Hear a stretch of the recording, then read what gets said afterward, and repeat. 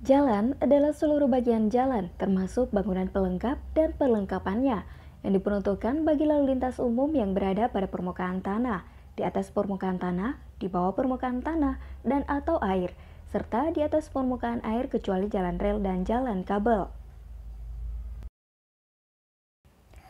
Berdasarkan ulasan hukum online.com, sanksi hukum bagi pemerintah bila membiarkan jalan rusak, Undang-Undang tentang Lalu Lintas dan Angkutan Jalan menyatakan penyelenggara wajib segera dan patut untuk memperbaiki jalan yang rusak yang dapat mengakibatkan kecelakaan lalu lintas. Berikut empat dasar hukum untuk segera memperbaiki kerusakan jalan. 1.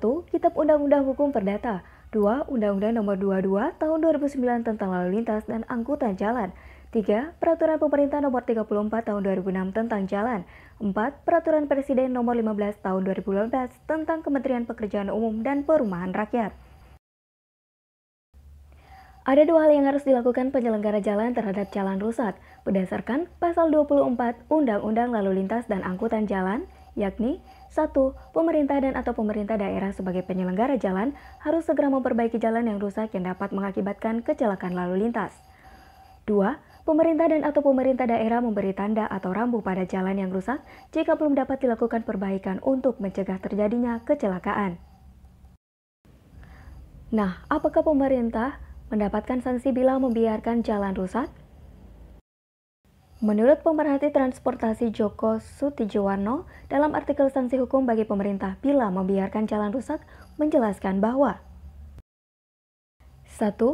Setiap penyelenggara jalan yang tidak dengan segera dan patut memperbaiki jalan yang rusak yang mengakibatkan kecelakaan lalu lintas, sebagaimana dimaksud dalam pasal 24 ayat 1, sehingga menimbulkan korban luka ringan dan atau kerusakan kendaraan dan atau barang dipidana dengan penjara paling lama 6 bulan atau denda paling banyak 12 juta rupiah.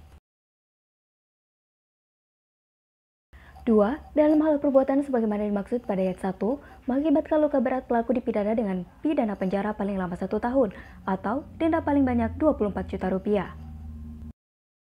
3. Dalam hal perbuatan sebagaimana dimaksud pada ayat 1 mengakibatkan orang lain meninggal dunia, pelaku dipidana dengan pidana penjara paling lama 5 tahun atau denda paling banyak 120 juta rupiah. 4. Penyelenggara jalan yang tidak memberi tanda atau rambu pada jalan yang rusak dan belum diperbaiki sebagaimana dimaksud dalam pasal 24 ayat 2 dipidana dengan pidana penjara paling lama 6 bulan atau denda paling banyak Rp1.500.000.